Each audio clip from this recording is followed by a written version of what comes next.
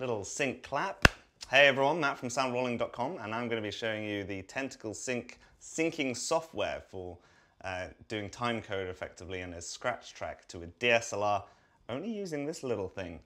Um, it's very ingenious, so essentially you get one side of your audio track in terms of a stereo, like in this uh, Canon 70D.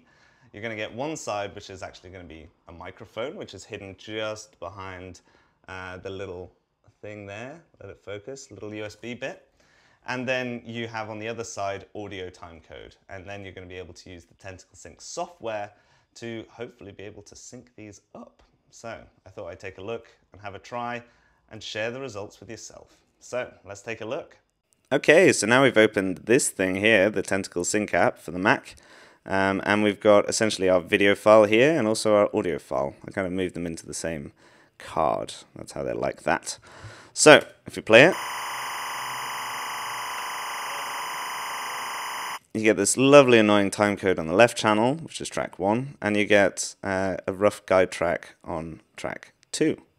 So what we're going to do is we're going to import and check all this info. This is the separately recorded sound file that I did with the 688. Um, we can see that there's info up here already about what the uh, type of video is, what type of audio is.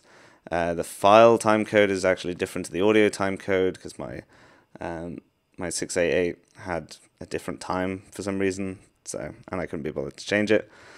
So essentially all we're doing is we're just going to select both. We're going to do read audio TC first just to make sure that it's going to read the right track and right information on the camera side of things. So we know that our frame rate is 25 frames. I've chosen track 1, uh, although you could choose auto track and auto channel of course. But I know that on track 1 and on channel 1 it's going to be the audio timecode. I've done the reading range as the middle of the file because it was suggested to me, um, and the reading algorithm uh, level detection is set to low just because it is, and there's no offset because there shouldn't be any lag in this. So, reading timecode, and then essentially we have all the correct information, just double, triple checked essentially. Um, and so now all we're going to do is sync the info. And look, it's synced. So now if I double click,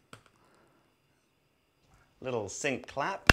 Hey everyone, Matt from soundrolling.com and I'm going to be showing you the Tentacle Sync syncing software. So, that's a lovely freeze frame. And this is how it's all synced. So now all we need to do is obviously export synced movies.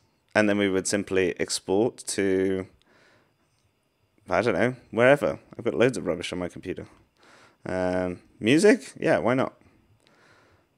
And it's synced. One file synced.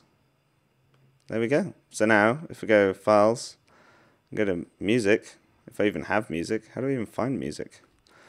I've saved it to a place where I don't know where it is. There we go. This is our original, but now it's synced. Little sync clap.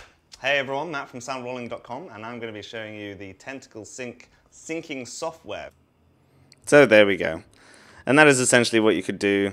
Let's change that. It's distracting. Ooh, look at this shiny timecode sync. All right. And essentially that is it. So I guess the idea is that you would have lots of different takes. You'd be able to link them all up. You'd be able to read the audio timecode, make sure you have all the right settings. You'd then just simply sync them and export them. And it seems incredibly easy. Um, I mean, there may be lots of other different options like this multicam mode, all sorts of stuff, but I just wanted to give you an intro because I couldn't find anywhere to explain it to me, so I've just been stumbling through for the past uh, half an hour. But we've got there in the end, so if you like this video, you can always give it a thumbs up. You can, of course, subscribe for more audio stuff, and more importantly, leave me comments on what you want to see next or what's going to be useful for you. Just makes it incredibly easy to make content like this because I know that people want to see it. So, that's it from me. I will see you later.